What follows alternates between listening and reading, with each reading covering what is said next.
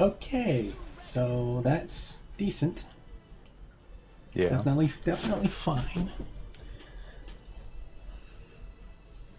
I'll I'll take that.